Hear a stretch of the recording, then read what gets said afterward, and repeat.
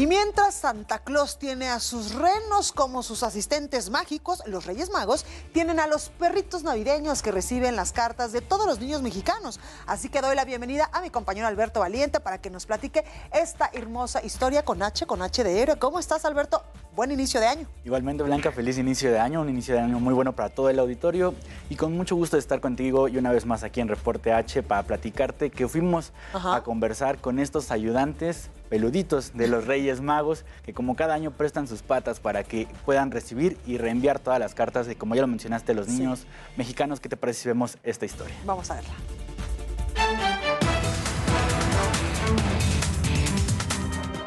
Son de raza única, tienen cuatro patas, un olfato inigualable y mucho amor para dar. Ellos son los perros que se encargarán de recibir y hacer llegar todas las cartas a los Reyes Magos de los miles de niños y niñas de la Ciudad de México.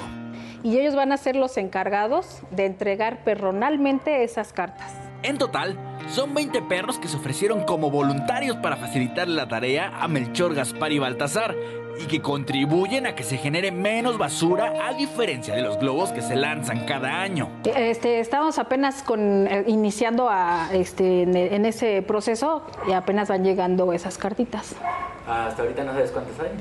Y parece que van a un poquito más de 50 cartas, pero tienen hasta el 5 de enero para mandar su carta, todavía tienen tiempo. Con este, ya van cuatro años seguidos que estos amigos peludos le echan una pata a los Santos Reyes. A través de su correo electrónico, estos peluditos reciben todas las peticiones y las reenvían a los Reyes Magos, además de que contestan con un correo que contiene su foto para que los más chicos sepan quién estuvo a cargo de su cartita. Hemos recibido muy, eh, muy buena respuesta y muchas cartitas. Los niños, incluso después de que pasa la fecha de Reyes Magos, vienen a conocer al perrito que entregó su cartita. Afortunadamente cada año se renuevan los ayudantes de los Reyes Magos. Tan solo este 2022, 53 consiguieron un nuevo hogar, dejando solo algunos perros con la tarea de recibir todas las peticiones. Pero estos héroes perrunos que hacen posible que todas las cartas lleguen a sus destinatarios, también tienen un deseo para iniciar el año. Aquí ya mandamos nuestra cartita y la cartita es, eh, el deseo más importante es que se vayan nuestros perritos en adopción. Para darle un hogar por su arduo trabajo como ayudantes de los Santos Reyes, solo se necesita llenar un formulario, un comprobante de domicilio y una identificación oficial.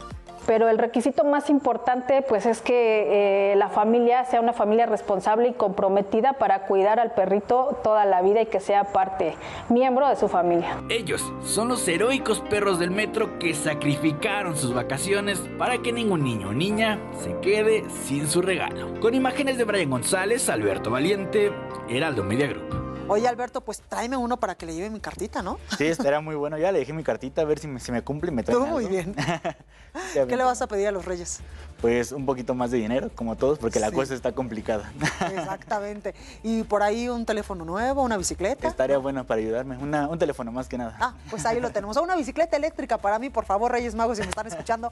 Muchísimas gracias, Alberto Valiente. Te vemos el próximo martes Aquí estamos. con más de H, de- con más de H con H de héroe.